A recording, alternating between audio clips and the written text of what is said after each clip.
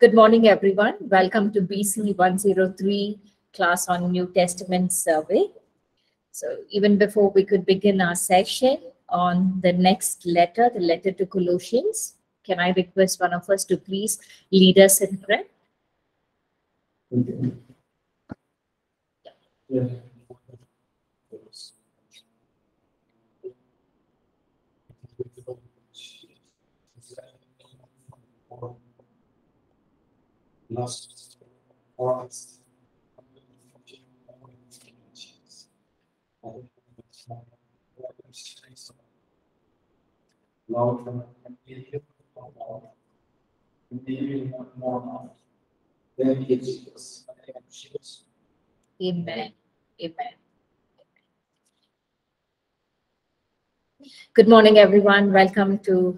today's session.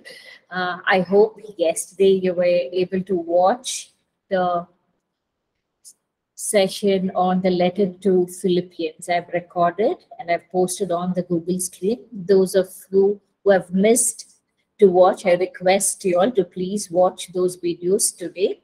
It's come in two sessions, about 15 to 20 minutes each video.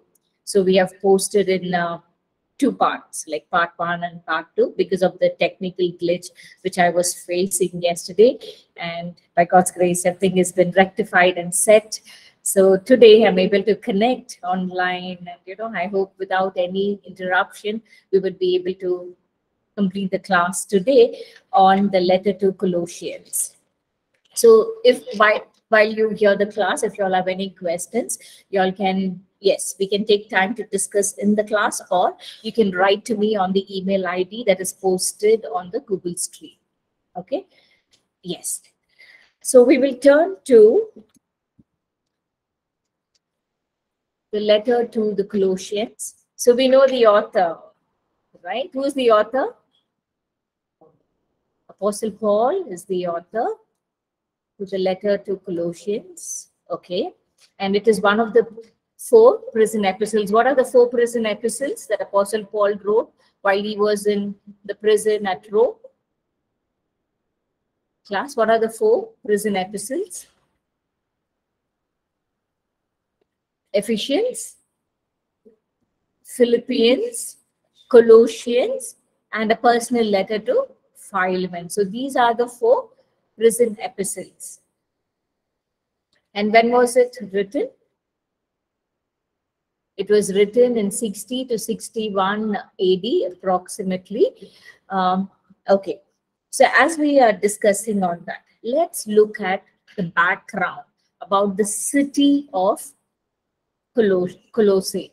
So when we look at the city, the city of Colossae was located about 100 miles of 100 miles east of Ephesus and 12 miles north of Laodicea. Let me present the map. The map been presented? Okay, thank you. Okay, so the city had a very important history. By this time, it has declined somewhat in the world significance. It was very prosperous city in nature. How do we know it was a prosperous city? Because it was a very wealthy city.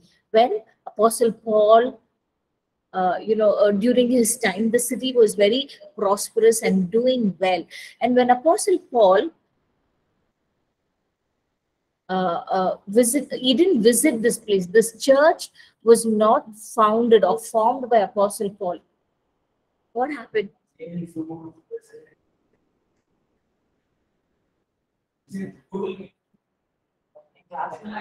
Oh, okay, okay. Thank you, thank you, guys. Okay. As I was sharing the screen to the students on campus, I have not shared the screen with you all. Sorry. Um, give me a minute. Thank you.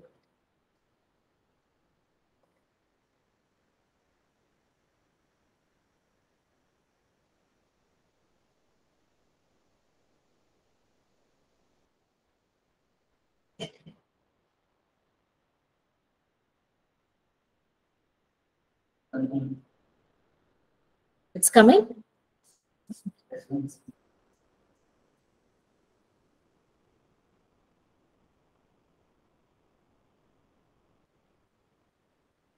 Okay, this is the Colossians, the ruins of Colossians. Yes, supremacy of Jesus in all things. This is the map that we are talking about. We see Colossae here in Asia Minor.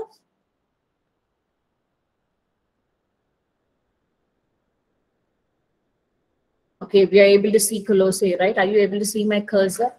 Move near Colossae? No. Okay, but we're able to see Colossae where it is. It is in the map, Asia Minor, you see there. Okay.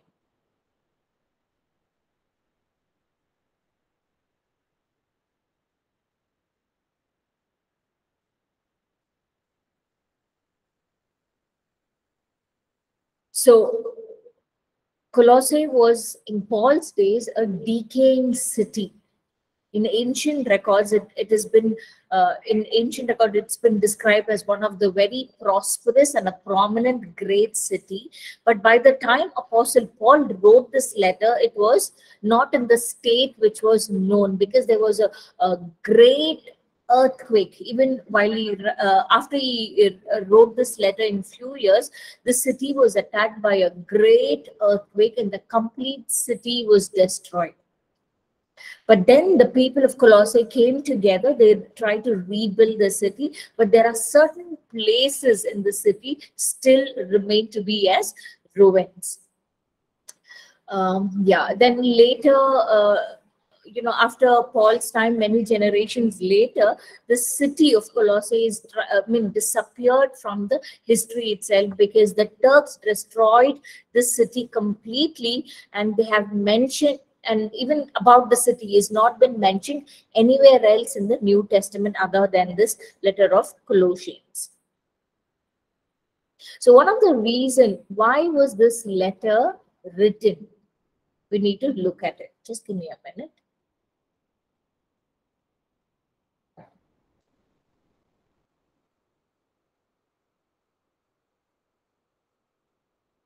So even before I could mention why was this letter written, we need to know how was this church formed. If Apostle Paul has not visited Colossae, so how was this church formed? This church, as per Acts chapter 19, can I request you all to please turn to Acts chapter 19?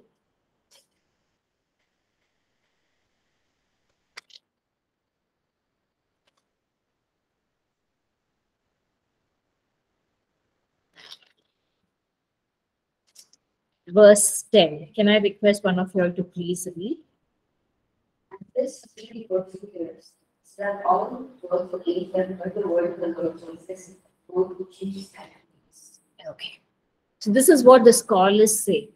When Apostle Paul was preaching at Ephesus, so all the people in Asia were present there, heard the gospel, received the gospel, and then they carried this word to different places. So there was a person by the name Euphor, Epaphroditus. Okay. Uh, yeah, it, it is believed that he carried the gospel to Colossae and he preached there and he formed the church. So the church was formed at Colossae, at Colossae by Epaphroditus. And he's been mentioned three times in the New Testament, twice in the letter to Colossians. Now we need to know who is this person. Who was Epaphroditus? Is he's also mentioned in the Colossians as Epaphras.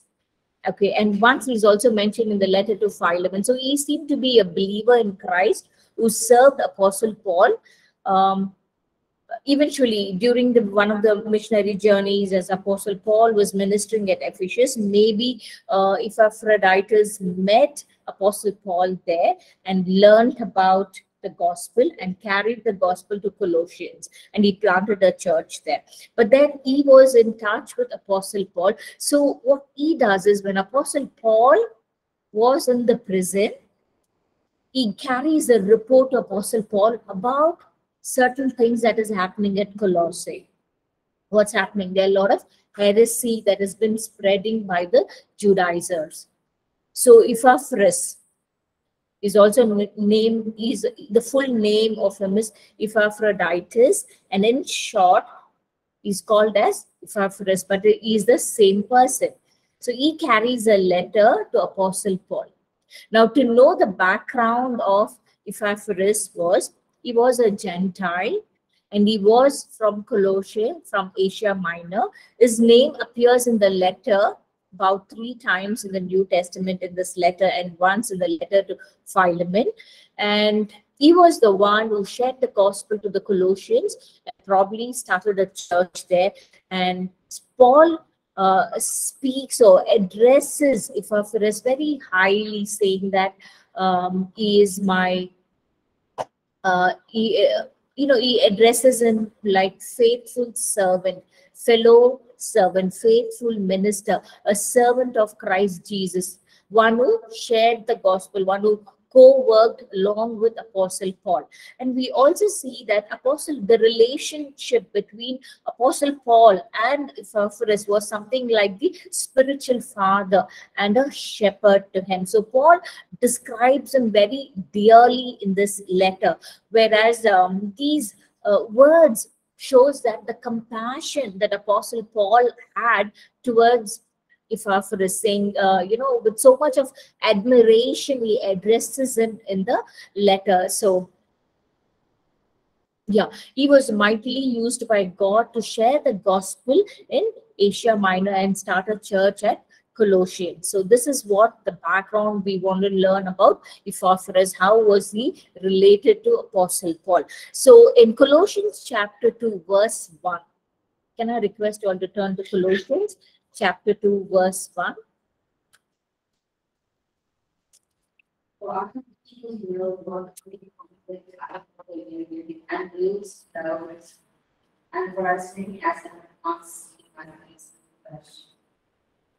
Yeah, thank you. So here we see that how Apostle Paul addresses him, saying that any consolation in Christ, if any comfort of love, if any fellowship of the Spirit, in any affection and mercy, fulfill my joy by being like minded, having the same love, being a one thought of one mind. Is just showing what the mindset of Epaphras and the mindset of Apostle Paul.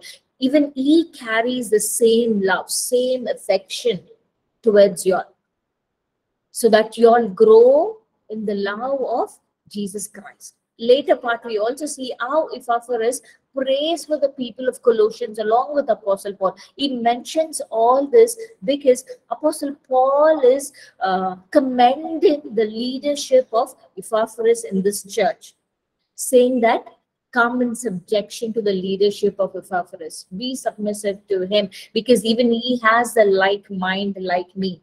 He, he is a servant of Christ. He wants to see you all grow in the Lord. He's commending him. And we also see the church at Colossae was most um, likely under the leadership of Epaphras and they were with him. But then what happened? Suddenly, there were a few Judaizers. Wherever the church was planted by Apostle Paul or any of these ministry leaders, the, the Judaizers carried these false teaching and they came against the church. They came against the teaching of Jesus Christ. So that was the very purpose of Apostle Paul writing this letter. So I would like to mention what were certain heresies that they brought against the church. So that was the purpose. So there were four heresies, four heresies that uh, Epaphras or the church at Colossae was facing, for which Epaphras carried those details, uh, came to Apostle Paul and met him in the prison and asked him for help to address against these four heresies. So, what are they? First one, to warn them against the human philosophy and to urge them to give Christ the supreme place, the preeminence. The heresy, the false teaching of these Judaizers were, were against Christ, were against the supremacy of Jesus Christ. The second heresy was to warn them against the ritualism of Judaizers, they were emphasizing the believers in the church to follow the rituals what they were following. So they were a lot of Gentile believers in this church, and they were again they were saying like you need to be circumcised you need to keep up the sabbath and many other rituals that, that these judaizers were carrying. If you are a believer you need to follow all these things. They were carrying certain ritualistics in the church. The third point uh, was addressed as to warn them against the worship of angels and mysticism so he's been addressing that these judaizers were carrying the false heresy and emphasizing on the worship or the belief in angels. The fourth one is to warn them against aestheticism. Now, what is aestheticism? Means a doctrine that through self-torture or self-denial, one can discipline himself to reach an higher state, spiritual or intellectual. So this was aestheticism. So they were trying to emphasize this in the church. So Epaphras carries all these four things that the church was facing at Colossae, and he brings it to Apostle Paul in the prison, and he requests him to help him to address these issues so that I can go and minister back at the church in Colossae.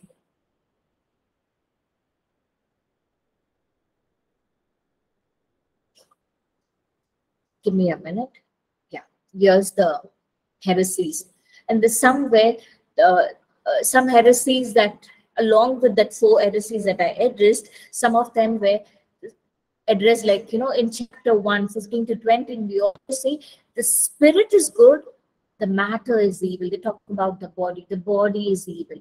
And again, in chapter 2, it's been addressing that one must follow uh, the rituals or the restrictions in order to be saved or perfected. And again, in chapter 2, we see certain heresies like one must deny the body and live in strict asceticism, follow and worship the angels.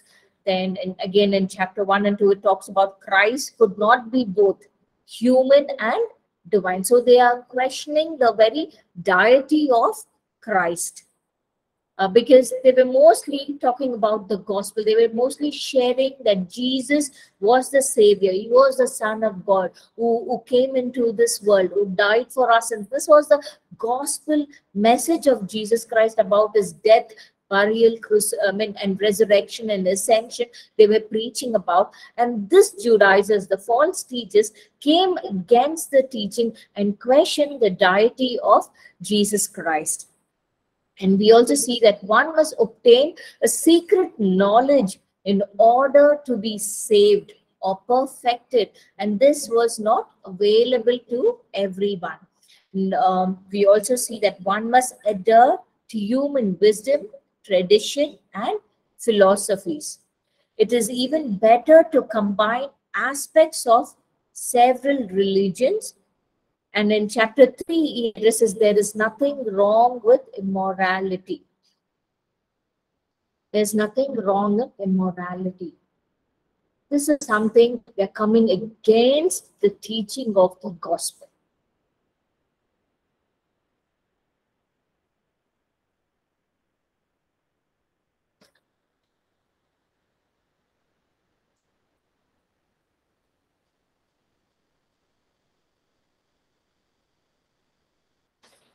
So in, in the letter to Colossians, we have about four chapters. The first chapter talks about in Christ alone. In Christ alone. Chapter 2 talks about living in the light of God's grace. Living in the light of God's grace. So every heresy that has been addressed, Apostle Paul is trying to give an explanation for that. And then in chapter 3, we see walking with God as his chosen one. And chapter 4 talks about walking in steadfast wisdom and prayer. as he's been addressing to these chapters, to these four chapters, we see in chapter one, uh, in chapter one, when we go through Colossians chapter one, verse one to 14. Here we see Apostle Paul is addressing about preeminence of Christ. He's convicting them who Jesus Christ is, what Christ mean to each of us or to you. He's addressing and acknowledging to them, saying, for I'm on uh, chapter 1, verse 9.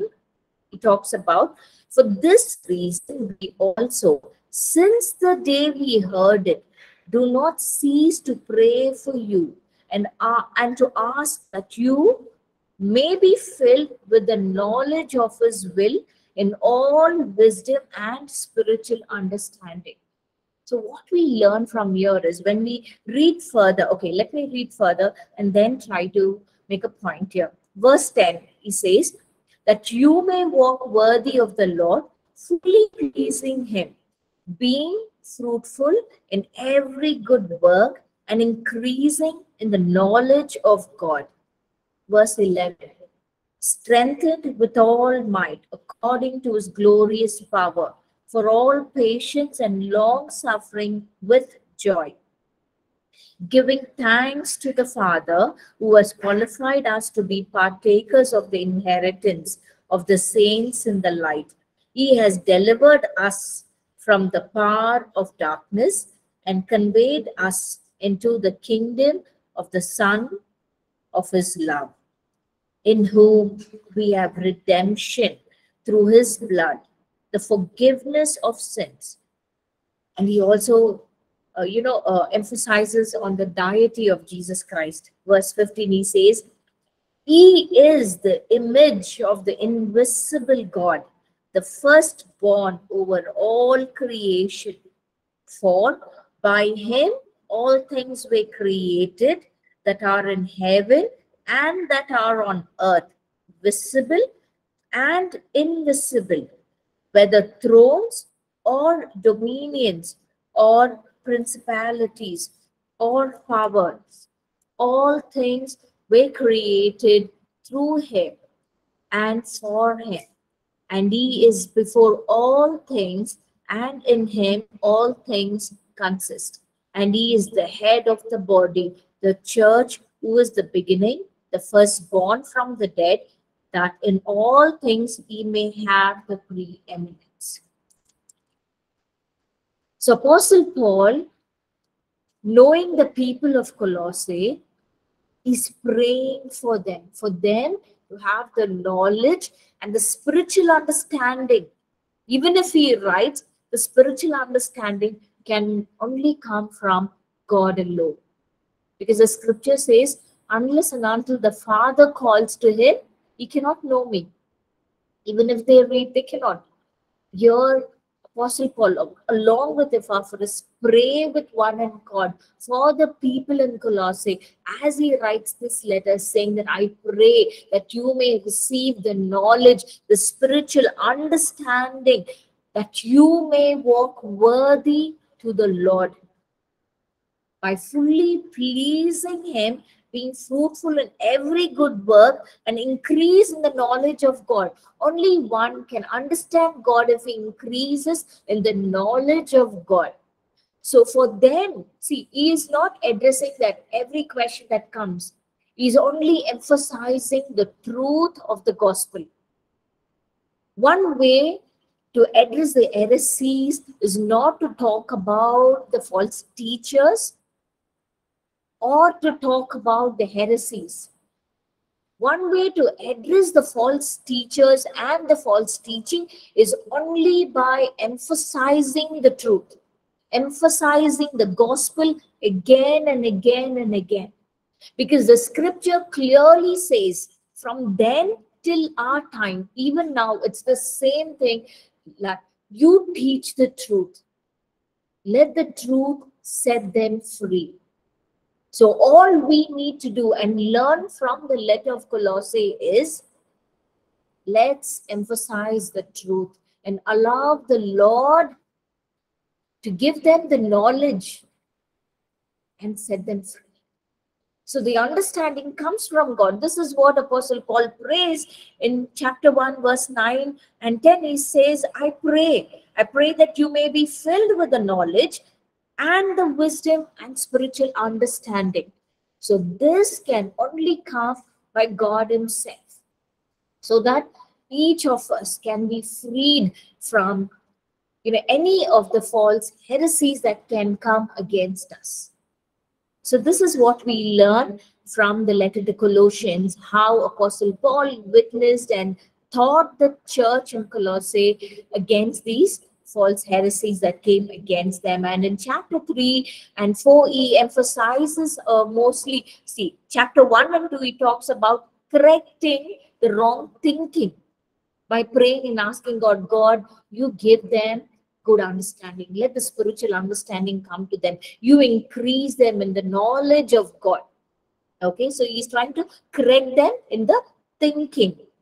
And in chapter 3 and 4 is mostly emphasizing on correcting on wrong living. Is correcting on the lifestyle because the Judaizers were, uh, the false teachers were emphasizing on the ritualistic and the aesthetic living style on the morality. So Apostle Paul is addressing those issues and he's trying to bring correction in their living or in their lifestyle.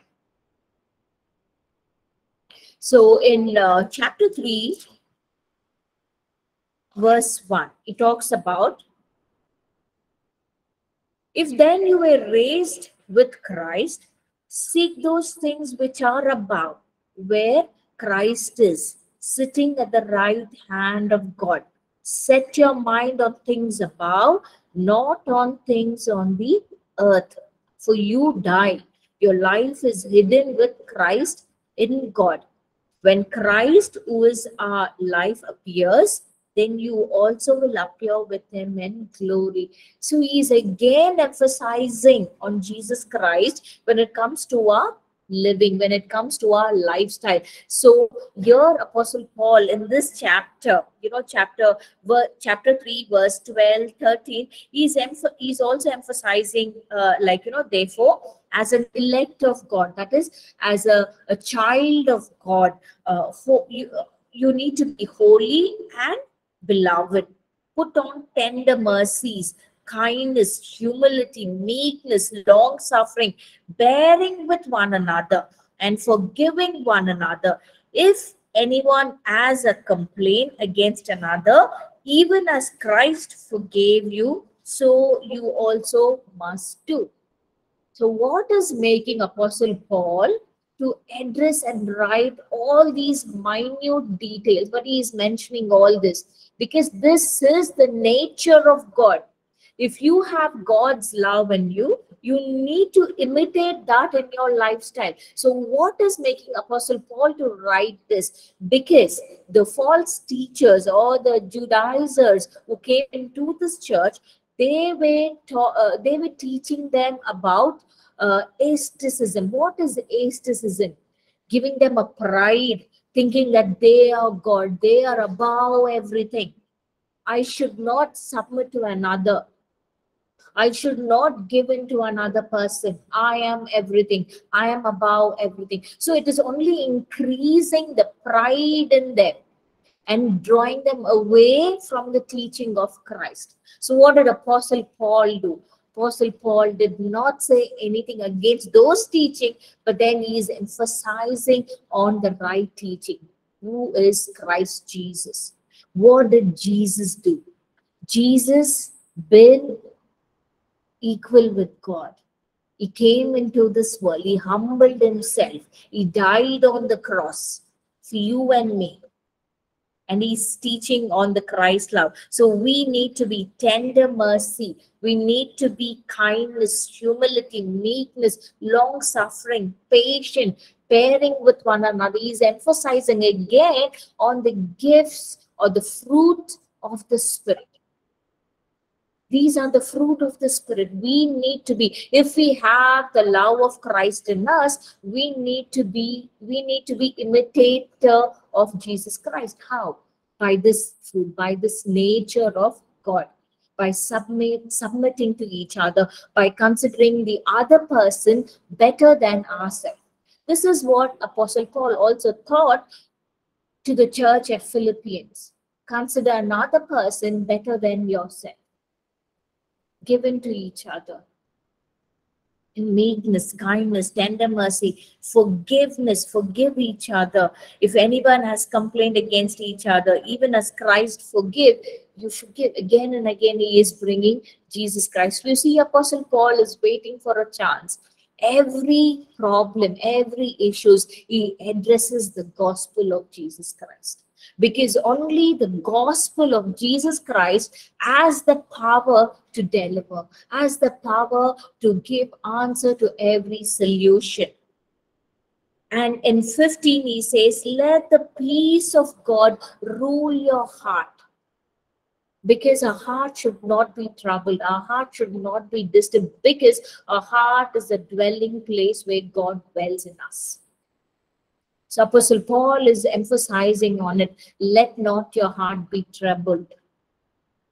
Let not your heart be troubled because you need to have the peace of God for you to exercise the fruit of the Spirit. So he's releasing the peace of Christ into the heart. He's saying, Let the peace of God rule your heart, to which you were called in one body, and be thankful.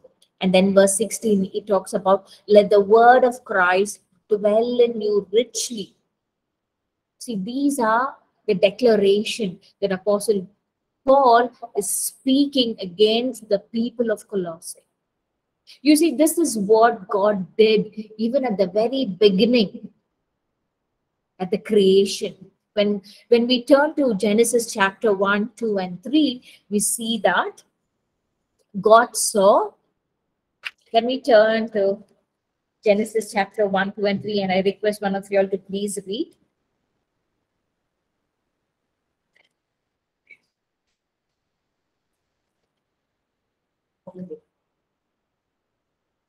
Chapter 1, verse 1, 2, and 3. In the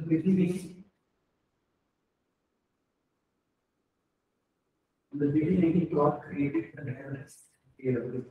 Earth was Darkness was on the face of the deep, and the Spirit of God was hovering over the face of the waters. And God said, Let there be light, and there was light. Thank you, Vimil. So, what we see, what did God see? What did God see? The earth was without form, it was void, there was darkness on the face of the earth. This is what God saw. But what did God speak? He spoke something opposite, right? What he said. God saw and he said, Let there be light, and there was light. The earth was filled with darkness, but God spoke something opposite. He did not speak, Hey, there's darkness. Let me do something. No, directly spoke something opposite. That is, let there be light. Same thing Apostle Paul is doing here same thing Apostle Paul is doing here to the church of Colossae. The report that he got was darkness, but here is declaring light into this place. He's declaring in verse 16, he says, Let the word of Christ dwell in you richly in all wisdom, teaching, and admonishing one another in psalms and hymns and spiritual songs, singing with grace in your hearts to the Lord. And whatever you do in word or deed, do all in the name of Lord Jesus, giving thanks to God the Father through him. So he's just emphasizing the truth, expecting the Lord to minister to the people of Colossae so that they may grow in God's wisdom, knowledge, and understanding. They may be blessed richly in God's wisdom, knowledge, and understanding that they may understand the false teaching which these false teachers are bringing against the church. So he's speaking God's word, he's declaring, and he's along with that, he is praying. And that's the reason, one of the reason why the church in Colossae had a transformation inside out. Their heart was transformed. They were able to understand the truth. They were able to face the heresy with the truth. And in chapter 4, verse 7 to 8, 18, okay, 7 to 18, here he teaches the example of the Christian fellowship. In the final greetings, he talks about Tychicus, a beloved brother, faithful minister, and fellow servant in the Lord, will tell you all the news about me. I'm sending him to you for this very purpose, that he may know your circumstance and comfort your hearts. So he is not rebuking the church. He understands that they're weakness, he understands that they are growing, but then he's praying over them and he's saying, I'm sending a leader to you. He understands you, he will comfort you. And also, he talks about the Onesi- Onesimus. We will know more about him when we uh, study on the letter to Philemon. He was a runaway slave from Philemon. And he's addressing about Onesimus, saying that he's a faithful and a beloved brother who is one of you. They will make known to you all things which are happening here. And he's just writing a letter of comfort to them. And you know uh, how as a christian fellowship how we need to be connected with one another and how uh, we need to grow in the lord with one another. And he's also teaching submit to each other. These are the leaders in the christ. Submit to them. They would bring the right teaching to you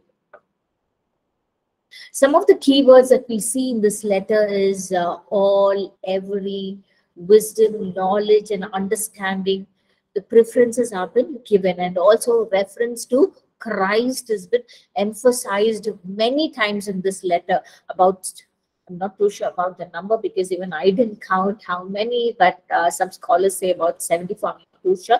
But it has been addressed Christ many times because he's trying to emphasize the sonship of Jesus Christ.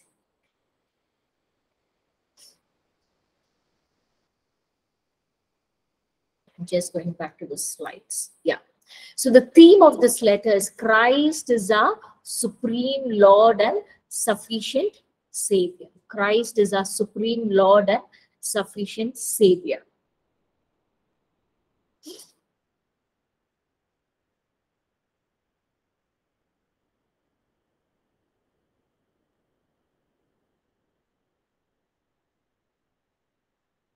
Some of the heresies, you know, Apostle Paul addressed this here in the slide. Let me put that.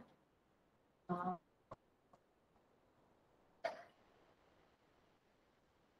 okay, these are the ones. Okay. Here, Apostle Paul is talking and encouraging the believers the responsibility of a believer to put off the old man and put on the new man. Is the slide changed? My, are you all able to see the difference between the old man and the new man? Okay. He's encouraging the believers in the church to put off the old man and put on the new man. The old man maybe about lying, but he's uh, Apostle Paul is encouraging as a believer in Christ, you need to be speaking the truth. And uh, the old man may steal. And in the new man, as a new man, you need to be honest, labor, and and he's also encouraging in giving. Um, and then the old man maybe there's corrupt in communication but then, as a new person in Christ, you need to be edifying the conversation. And in the old man, we may carry the bitterness, but as a new creation in Christ Jesus, we need to be kind, tender hearted, loving, forgiving. You know, he brings all this into the, and then, um, yeah, against the malice, it is love. And if you have fornication, do good. Goodness is about everything. And he talks about uh, uncleanness, covetousness, drunkenness, which is the old nature. But as a new man, you need to be righteous, truth, being filled with the Holy Spirit.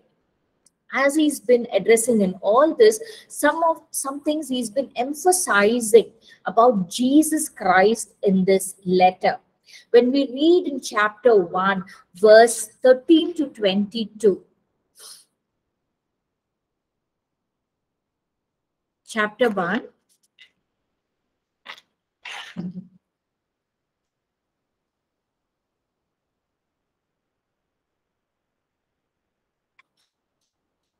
verse 13 to 22.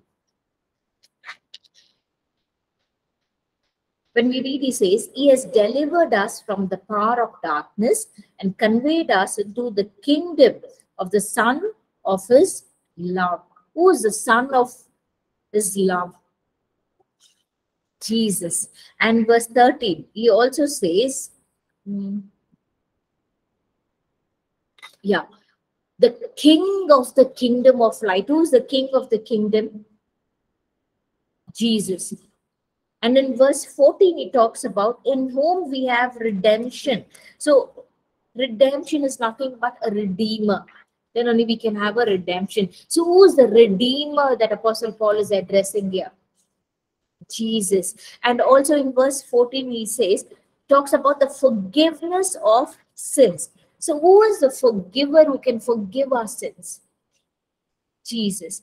And also in verse 15, he talks about he is the image of the invisible God. Who is the image of the invisible God? Have Jesus. He's emphasizing on Jesus because the heresy came against the deity of Jesus. So every verse here has been addressing who is Jesus to us. He also says the firstborn over all creation. So who is the firstborn? Jesus and he also addresses in verse 16 okay? He's addressing on uh, for by him all things were created. So who created all things that is in heaven or on on earth? So he's saying in the beginning when god created everything it was not only god the father. You see the triune god. God said let us create. When we read I'm sure you would have studied in the Holy Spirit class and also in Christology. God says, let us. So whom is Father addressing? Let us, the triune God, Father, Son, and the Holy Spirit. So your Apostle Paul is addressing that nothing was created without Jesus.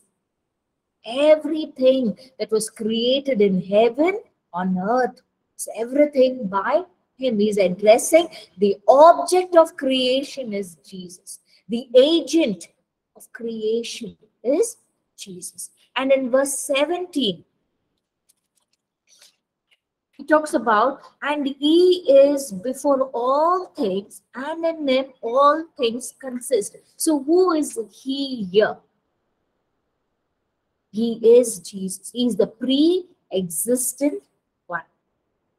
Now, also talks about the self sustainer of the universe. He was the, he created. And the later part in verse 18, we see that he was the head of the body, the church, who is the beginning, the firstborn from the dead, and that in all things he may have the preeminence. So he is addressing Jesus as the head of the body, the firstborn from the dead, and the preeminent one. And later part, when we read 19, 20, 21, and 22, Apostle Paul is addressing Jesus as the fullness of the Godhead and then he says he's the reconciler of the world to God and he's the perfecter of the body. And this is one of the reasons why you need to accept Jesus.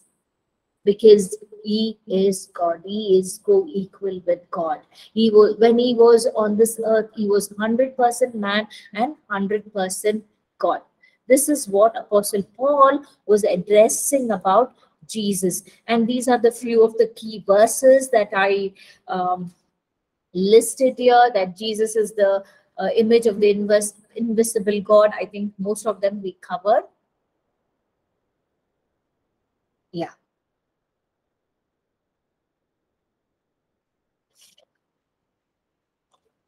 You'll have taken a look at it. Okay. I've come to the end of it. So our view of Jesus will impact every area of our life. This is what Apostle Paul emphasized to the church in Colossae. They were very innocent believers. That is why Apostle Paul is not being very stern with them. He's not stern with them, but he is addressing the gospel again and again with very tender heart. And he's actually addressing, I'm sending this letter with Tychicus. Okay, he's a fellow servant in Christ Jesus. He's also, he will come with comforting words to you. So he's sending the letter with a word of comfort to them, and he's saying, I understand.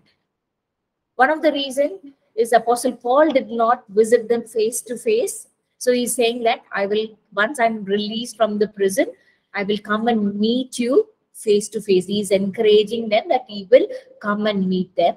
Second, because he didn't found this church, he didn't know them personally. But then he knew the leaders of the church personally because they have met them and they have the heart for this people to know Christ. So he is encouraging, acknowledging, and commending the leaders in this letter, saying they are the fellow uh, servant, faithful ministers. They have the same heart as what I have in sharing the gospel.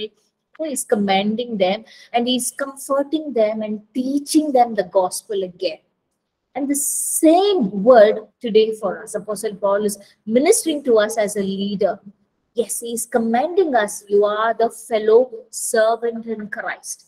You are partner with me in this gospel. You are the faithful minister. So, as leaders to each of us, Apostle Paul is commending. And also, he's emphasizing us as leaders carry the gospel. Do not talk about the heresy. Do not give prominence to the heresies, but then share the truth. Emphasize on the truth. Let the truth set people free. And he's encouraging you and me. And, uh, and he's asking us, allow the Jesus Christ, Love the word of the gospel penetrate into every area to us and to the church so that that has the power to deliver us from every heresy, from every issue, from every circumstance and situation. So this is something very practical to you and I. What would we do if we were in place of Apostle Paul? Are we following Jesus as we should? We need to question ourselves and see how to minister to the wrong teachings, to the wrong heresies that may come against our church, that may come against our leadership. How are we going to face them? We don't have to defend every claim that comes against us, but trust God to be our defender. Just as our Paul, you know, did, he trusted God. Even in the letter to Philippians, we see when Apostle Paul was put into the prison, he was just not pushed into the prison. Okay, he was pushed into the deeper inner cell. That is, you know, one level of prison, and then there's an inner cell. But Apostle Paul was put into that inner cell that is should be like a dark dungeon. Look at the intense of the punishment. They chained both his feet both his feet was chained. Why did they do it? Anyway, he's in the prison. In the prison, they put him into the inner cell, like as though he was a big crime, big murderer. But what they were trying to do, the Romans were just trying to affect his mindset, his mindset, saying that you are you are a deep or a uh, what do you say? Uh, the intensity of the punishment is so much it in chains, even if he's in the first prison, it's he's under the bar. But he put him there, intensity just increased. But then Apostle Paul and Silas, they were not worried. They were didn't even pay the attention of the circumstance of uh, you know what the Romans put them into. The whole attitude changed. They just sang and praised God, and the heaven responded to them by shaking the foundation of the prison cell and all the gates, the scripture says, all the gates were opened along with the chains which their foot was tied on. So, who is man who can put servant of God under the prison. The same like that Apostle Paul is ministering to Colossae, who can come against the Christ, the teaching of Christ and Christ. So he emphasizes on Jesus Christ. So today you and me may be in such situation.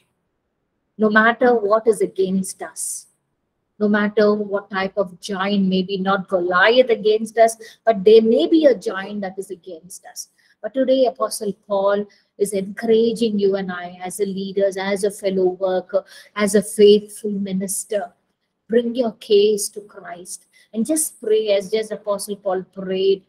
He prayed, Lord, increase us in your wisdom, knowledge, and understanding. Increase the people also in that same, the will of wisdom of God, knowledge and understanding, that they may understand what we understand. So it's only the Father who can give understanding to each other. It's not our word. We cannot defend, but the Lord can defend. Okay, so today I end this letter with saying, let our complete dependency be on Christ Jesus. Let Christ be our sufficiency, is the supremacy. Jesus is the supremacy of all things. This is what the letter to Colossians mean and let it mean to us. So let's pray. Father, I surrender each of us into your hand, each and every ministry leader into your hand. I pray that, Lord, every claim that comes against them, every claim that comes against the ministry, the church, Lord, I pray that you will be the defender. You will increase us and the church and the ministries, leaders in the will and wisdom of God, knowledge and understanding. That we may understand, we may see the things as our you see. We may able to understand as you understand, Lord. Thank you, Father. Thank you for your Holy Spirit who, who, who gives us the understanding, who defends us. Let us focus on you, O Lord, so that the truth will set us free. Thank you, Lord. In Jesus' name I pray. Amen. Thank you so much for joining in today's session. I hope this uh, letter to Colossians was a blessing to each of us. God bless and see you all in the next class. Thank you. God bless.